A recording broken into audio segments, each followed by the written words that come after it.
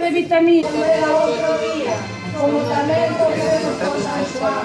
No nos deixes caer na tentación. Padre nuestro, mira esta sardina, santificado sea a súa espiña. Llena eres de carne azul. El Señor, bendita es el fruto, estas de luz. Santa María, Madre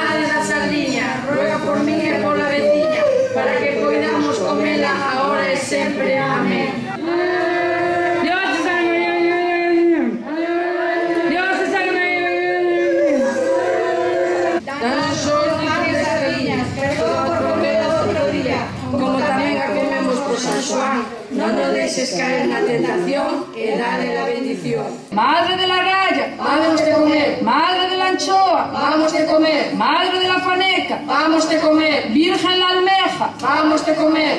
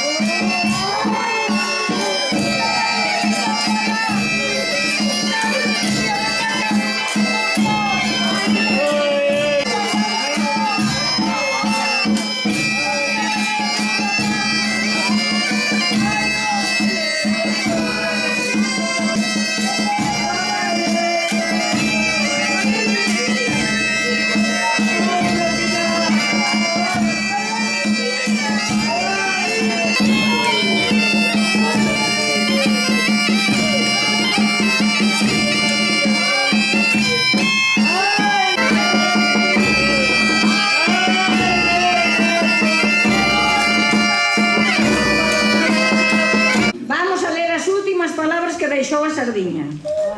A piques de pasar a mellor vida, non quere doña Sardiña deixar de comentar que por unha vez o goberno nos bota unha manciña para que deles poidamos falar de Europa, de España e de Gondomar. E como están as cousas? Que tal mudou? Anda o mente revolto, menudo follón. Vai o seu último alento por vos preguntar como é posible que na era da globalización miremos para outro lado ao falar da migración. Por culpas do poder creamos batallas e guerras que fan os homes fuxir e cruzar as fronteiras. Anda Europa revolta con iso dos refugiados. Din que non teñen cabida e que non acollamos asiliados. Mais somos de mente fluxiña esquecémonos do noso pasado. Botámoslle unha axudiña, non miremos para outro lado. De amores e desamores está o país a padecer. Non dan formalizado matrimonio, ninguén se deixa querer. Mais teñen que facer as beiras, pois é difícil de entender que polo ben do povo se poñan todos a ceder. Ai.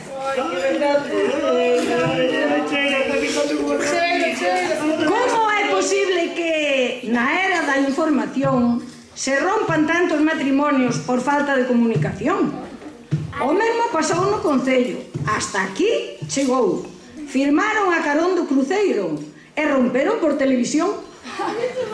O pasado día 30 e por aclamación, os seus socios de goberno, o CADE dixo non. E é que o alcalde lle gusta mirarse no papel cuché, facer fotos a cabalo, e os espellos na pared. Traballa o rapaz, ademais, en iso das redes sociais, confundindo a miúdo o privado e máis o público. E todo isto lle axuda, como non, o secretario. Sen el non sería posible un soldiño para Eladio.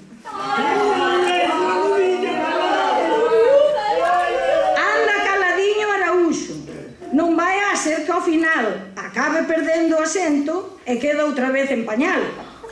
E con este panorama, o del río maquinou.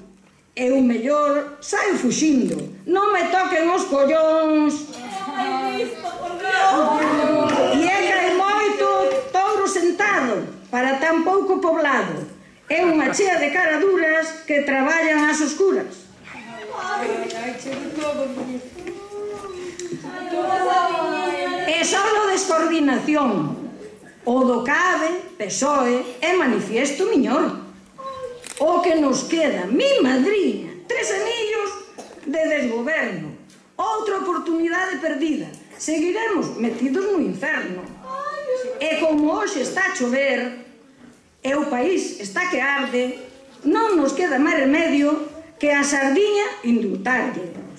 Eh, señor alcalde, non vai usted a creer que na rotonda de estandarte a queremos poñer, eh?